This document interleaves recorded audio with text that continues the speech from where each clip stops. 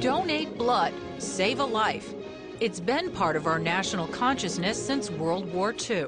The Army and Navy had called upon the Red Cross for an increased quota of 4 million pints of blood in 1943. And Americans heeded the call for blood. Between 1941 and 1945, the Red Cross collected 13 million pints headed for wounded soldiers on the field. Transfused blood was miraculous, saving countless numbers of soldiers' lives. Today's scientific use of blood has emerged as one of the major medical advances of World War II. Of those wounded. These days, more than 14 million units of whole blood or red blood cells are transfused every year in the United States. The benefits of blood, so it goes, are so obvious as to be beyond question. But are they? Now, a growing number of experts are questioning the value of blood and blood products and are concluding that for many patients, the risks of transfusions can outweigh the benefits. It's a controversial point of view that is changing medical practice and potentially saving lives. And you might be surprised to learn that one of the driving forces behind it has been the Jehovah's Witnesses. I want to know when I go in there that they will not use the blood under any circumstances, whether I live or die. Jehovah's Witnesses, like Betty Myers, see blood as a precious fluid so precious that being transfused with someone else's blood means losing the chance for eternal life. There are several passages in the book of Genesis, the book of Leviticus, and the book of Acts that prohibits the taking of blood because blood is in your body as a life to you. In 1994, a committee of Jehovah's Witnesses from the world headquarters in Brooklyn, New York, made a simple request to hospitals in the area. Give us the best medical and surgical care you can. Just do it without the use of blood transfusions. Many facilities turn them down, but Englewood Hospital in nearby New Jersey agreed. To be honest with you, we just accepted this as a challenge. We, we thought that someone had to take care of the, this population, and we were so ready to learn. So you didn't think they were out of line or suicidal or on the road for trouble pushing we, this? We may have, uh, going back uh, that far, but uh, we certainly learned very, very quickly that um, that's not the case. As chief of anesthesiology and critical care at Englewood, Dr. Aryeh Shander was already questioning conventional wisdom about blood transfusions. Transfusion of blood components seemed to be erratic and I started looking in my own practice to see that the decisions were not really based on anything. And that when I did apply some rationale to the decision, the amount of transfusions that I was using clearly was much, much smaller than what was being used around me. Within a year of treating Jehovah's Witness patients without transfusions, Shander and Englewood noticed something unexpected. Our physicians started seeing witness patients coming, getting their surgery, getting the medical care without a single drop of blood, going home either at the same time as other patients or even going home earlier, no complications. And that's when we started to recognize that there's something here that we need to investigate more. Dr. Shander wasn't the only physician questioning the value of blood. At about the same time, critical care specialist Dr. Paul Marik was also coming to some surprising conclusions about blood transfusions. In 1993, he published this study suggesting that transfusions weren't doing the very job they were supposed to do, and that is carry oxygen to cells in the body. One reason, he speculated, was that some donated blood might be sitting too long on the shelf. What we found was that the older the blood, the less effective it was in, uh, in unloading oxygen in the tissues. Donated blood must be used within 42 days. But just like anything else that sits on a shelf, blood degrades. And as it ages, red blood cells become misshapen, making it harder for them to maneuver through tiny capillaries. Since then, there have been uh, a whole host of studies which have actually supported our finding that the older the blood, the more the, the greater the number of complications and the less effective the blood is in delivering oxygen. One example, a 2008 Cleveland Clinic study that looked at the records of 6,000 heart surgery patients. It showed that those who received blood more than two weeks old had a significantly higher risk of complications like infection, respiratory problems, kidney failure, and even death. There is disagreement in the medical community about whether older blood causes problems. But it's not just the age of blood that might be harming patients. Dozens of studies suggest that transfusions are linked to other serious risks, including cancer recurrence, organ failure, and the significant long term impact blood may be having on the recipient's immune system. We know now that transfusion of blood lowers the host's immune response and ability to fight infection, so it predisposes um, sick people to get infections. Dr. Marik is a harsh critic of the status quo when it comes to blood use in American hospitals. He says doctors use blood transfusions the way they do because, well, that's how they've always done it. Dr. Shander agrees. Are there large numbers of Americans who are getting blood probably inappropriately or blood products? Yes, I think that the short answer is yes. The question of appropriateness is something which is um, uh, very ill defined. Are they at risk? The recipients? Yes. Absolutely. If you can't demonstrate benefit, all you're offering the patient is risk. Need to Know went to the American Red Cross, which supplies 40% of the nation's blood, to find out what its attitude is towards this new thinking on transfusions. Dr. Richard Benjamin, Chief Medical Officer of the Red Cross, supports the conservative use of blood, but is wary of much of the research about the potential hazards of donated blood, including older blood. There are a number of studies published, there are retrospective analyses. Uh, they are generally inconclusive. We really do need randomized controlled trials to answer this question. Large clinical trials, including one sponsored by the National Institutes of Health, are underway now to determine what effect, if any, the age of blood has on patient outcomes. The results of that research could have a major effect on how the Red Cross conducts business. If indeed it turns out that six week old blood is not as good as three week old blood, we would have to change our whole collection system to supply the appropriate blood for hospital needs. How would and, that affect you?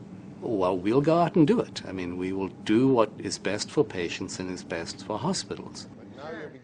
Dr. Harvey Klein is the head of the Department of Transfusion Medicine at the National Institutes of Health's Clinical Center. He supports many of the ways transfusion practices are changing. But he points out that this shouldn't lead anyone to believe that blood transfusions are always bad. In some situations, there is simply no substitute. If you're uh, dying on the battlefield, there's no replacement for human blood. If you've been shot in an alley, there's no replacement for human blood. And in fact, if you begin to bleed like crazy in the operating room, only blood will save you. And indeed, Englewood Hospital does transfuse blood when needed. But since 1995, the hospital has applied its blood conserving standard of care to all patients, cutting transfusions by 40 percent. How do they do it? They use an aggressive approach involving what they call patient blood management and bloodless surgery. Here's how it works. First, candidates for surgery are carefully evaluated and treated for problems like anemia. The point is to keep them from needing transfusions in the first place. And what happens once they get to the operating room? This patient is having a heart valve replaced. We actually take some of your blood out and keep it by your bedside so there's no storage at room temperature so it's active and it's whole blood and load your vessels with liquid so that if you're going to bleed, it's going to be very, very dilute, and then at the end of surgery, return this blood. Even the blood lost when surgeons open the patient's chest is collected, cleansed of contaminants, and returned. These so called bloodless surgical techniques meticulously preserve the patient's own blood so she won't need someone else's. Dr. Shander says compared to patients who get transfusions, patients without them do better. If you look at the cardiac population, for example, compared to other institution, uh, a risk-adjusted mortality is the lowest in the state of New Jersey with probably the lowest transfusion rates in the world. What are the circumstances where you really absolutely have to transfuse someone? There's just no question about it. You know, for me, it's a very difficult question to ask because there are patients that we have here who have hemoglobin um, levels of less than two grams per deciliter, which is considered to be incompatible with survival, who've gone home. So without a transfusion. Without a transfusion. We generally, if somebody will accept blood, we would transfuse them when they get to those those levels. We won't let them get down to those levels, but we've seen people survive with aggressive therapy without receiving blood. The notion that less may be more when it comes to blood is catching on, but slowly. About 100 hospitals across the country offer blood management programs, up from about 25 in the mid 1990s. One is Eastern Maine Medical Center in Bangor, Maine. Dr. Irwin Gross established their program in 2007, and within three years, he cut transfusions by 60%, saving the hospital almost $1.5 million a year. Much of this is not high tech. There really are very few aspects of patient blood management that are not accessible to even the smallest of community hospitals. Much of this is just good clinical care of the patient. This bag saved the driver. This bag saved the passenger. There is no doubt that when necessary, donated blood saves lives. The question the medical community is trying to answer now is when is it necessary? Joining us in studio now to answer just a few more questions is Need to Know's medical correspondent, Dr. Emily Senay.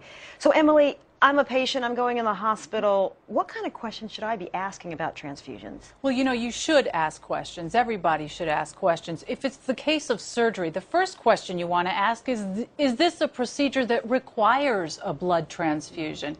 And depending on the answer you get, you want to ask your doctor Is there anything I can do to reduce my own risk for needing a transfusion? And these are the blood management techniques talked about in the piece. And these are very simple things. How, how do I get myself in the best best shape possible. How do I uh, reduce anemia and problems like that? So when I get to the OR, mm-hmm. I don't need a transfusion. Then you should ask, well, how do you compare to other doctors doing this procedure? Do you use more blood or less blood? Does this institution use more blood or less blood than neighbors or, or, large academic medical centers? Whatever your wishes are in terms of blood transfusions, whether they're religiously based or not, you want to make sure that the doctors you're talking to know what they are. Let's talk about the other side of the coin donation. Does this mean that people should heal back on donations? No, absolutely not. No expert we spoke with would suggest that at all. This is a, a, discussion about how to use a scarce resource. The scarce resource is blood. We need donors. We're going to need donors now. We're going to need donors into the future. This is really a discussion about how do we use uh, what they're giving us through donations in the best way possible. So it's good for the patients, and, and we make sure we're doing it correctly. And especially for talking about the age of the blood as being a factor in its effectiveness. I know the NIH, NIH just studies. We saw that in the piece. What other investigations are ongoing? You know, it's so interesting, Allison. This is the only developed country that, until just recently, did not have a national adverse event uh, blood transfusion monitoring program. So, just this past February, the Centers for Disease Control has launched just such a program to give us a snapshot of what we're seeing nationally. You know, we do know about certain things like mortality related to some types of blood transfusions or blood products, but we don't know much else. So this will allow hospitals to upload their data to the CDC and allow them to analyze and compare to other programs. First time we're going to know something about what's going on in this country. It's called the National Hemovigilance Program. It's just launched recently in February. This also begs a question about science. What about artificial blood? Sure. Every this is this is the the science fiction part, the, the thing that's always sort of on the horizon. When are we going to get that chemical that we can use that will replace the need for blood transfusions, blood donation? You know, that's a that's a horizon that's always uh, moving into the future. Unfortunately, some things came up recently. They were used in clinical trials. They were not successful. Uh, they're looking at other things, actually taking the some of the molecules inside red blood cells, isolating those. I think one of the, the sort of coolest science fiction things out there is this blood farming, where they're looking at stem cells and trying to actually grow red blood cells in a factory and then using that. But nothing is on the horizon or, or close to the marketplace anytime soon. Um, so for now, donating blood, it's going to be the thing that we need to do to help people who are, who are in the hospital, trauma victims, and absolutely uh, in the military. But blood farms, that's great sci-fi. Blood farming, very sci-fi. Dr. Emily Senay, thanks a lot. Thanks, Allison.